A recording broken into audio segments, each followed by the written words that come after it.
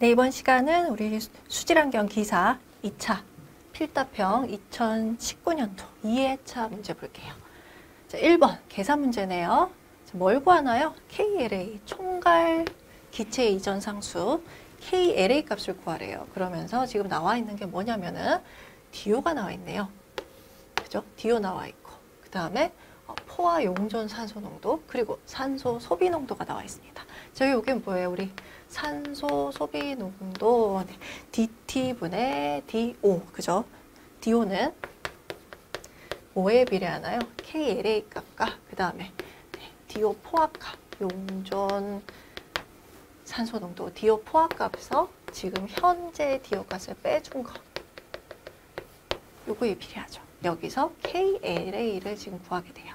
자 그러면 산소 소비 농도 값이 얼마냐면 네, 0.835 mg per 리터 minute가 되고요. 는 KLA 그 다음에 DO 포화값이 포화 용존 산소 값이 8.7, 그 다음에 현재 2일 후에 DO 농도가 2.8이에요. 그죠?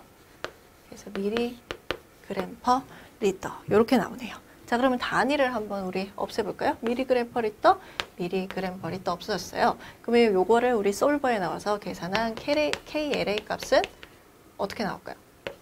minute, 그죠? 계산한 결과 값에 per minute 값으로 나옵니다. 자, 그래서 여기 계산한 값이 얼마가 나오냐면 0.141로 나오네요. 그죠? 자, 여기에 지금 우리가 구하는 거는 per hour니까 우리 분을 뭘로 바꿔줘야 돼요? 네, 시간, 아워로 바꿔줘야 되죠. 1시간에 60분이죠. 그래서 곱하기 60을 했더니 값이 8.492로 나와요.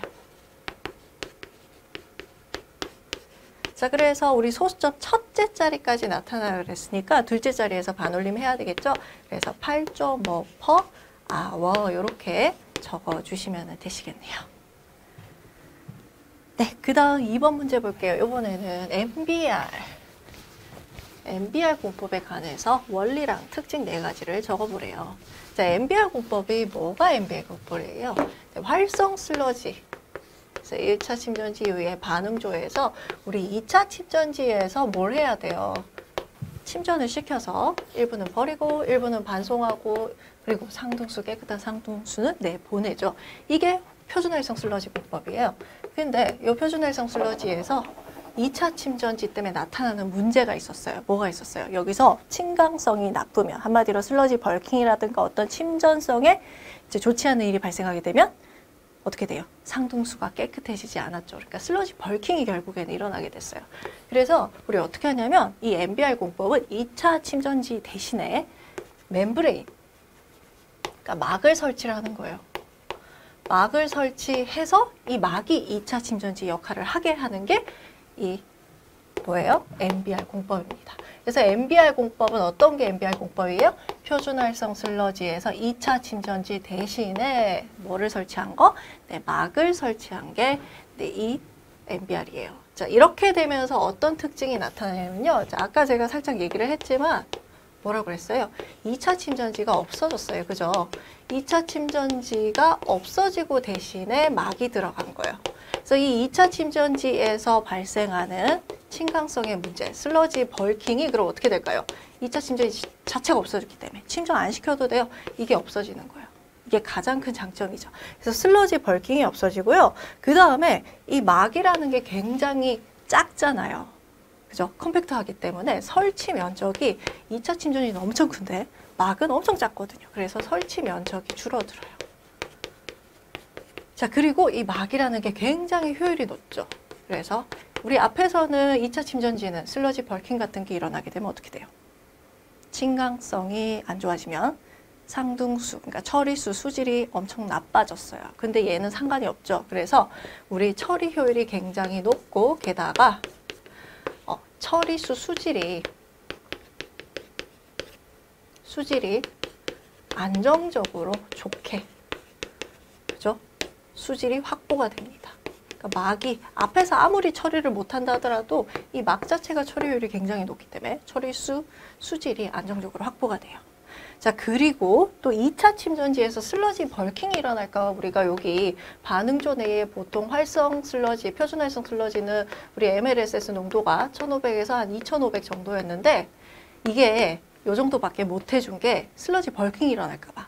안 해줬던 거거든요. 왜냐면 여기서 우리가 공기를 엄청 많이 불어넣어주면 은 MLSS 더 키울 수 있어요. 근데 뒤에 공기가 엄청 많은 상태로 가면 이게 기포가 막 생기고 하다 보니까는 침강이 잘 안 돼서 우리가 요걸 요 정도밖에 못 했는데 지금 이게 없어졌잖아요. 2차 침전지가 없어졌기 때문에 얘를 더 높일 수가 있어요. 얼마나 높일 수가 있냐?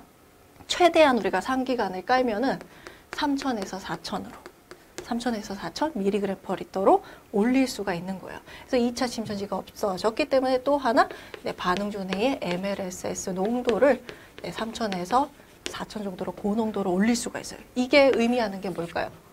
한마디로 얘네들이 역할이 뭐예요? 미생물들이. 여기서 유기물 들어오면은 잡아먹는 애들 아니 일꾼들이에요. 일꾼 수가 늘어난 거예요. 그러면은 처리하는 시간이 엄청 더 빨라지겠죠. 그죠? 그래서 체류 시간이 줄어들 수 있는 거예요. 그래서 반응조 크기도 줄어들 수 있어요.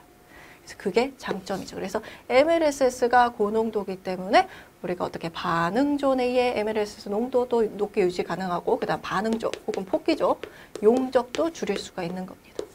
체류 시간이 그러니까 체류 시간이 줄었기 때문에 용량을 축소시킬 수가 있어요. 그러니까 훨씬 더 이게 작아지는 거죠.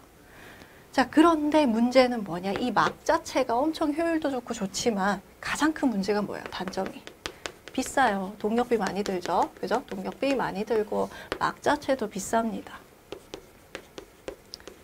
그리고 막의 문제가 뭐예요? 우리 열화나 파울링 같은 현상이 일어날 수 있기 때문에 어떻게 해줘요?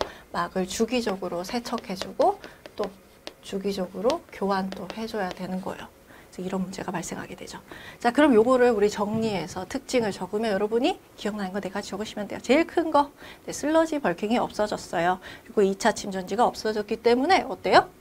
엄청 설치 면적이 감소하게 되고 그 다음에 막이 처리율이 굉장히 높으니까 어때요? 안정된 처리수 수질이 확보될 수 있고 또 반응조 내 MLS 농도를 3천에서 4천으로 높게 유지할 수 있고 그런 그리고 또 일꾼이 많아졌으니까 우리 체류 시간이 줄어들어서 폭기적 용량도 감소시킬 수 있고 근데 단점은 비싸더라 동력비 많이 들더라 파울링과 열화 같은 이런 문제가 발생할 수 있더라 그죠? 그래서 요거를 네 가지만 여러분 정리해 주시면 돼요. 네, 이번에는 3번.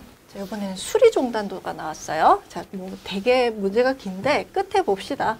수리 종단도를 그리는 이유 세 가지를 적어보래요. 그죠? 자, 지금 수리 종단도가 뭐냐면요. 이거, 이거 수리학적으로 우리가 수도 있죠. 그 수두를 표시를 해서 쭉 적어보는 거예요. 근데 여러분 항상 물은요. 높은 수두, 그러니까 물이 에너지 큰 곳에서 낮은 수두로 내려가거든요.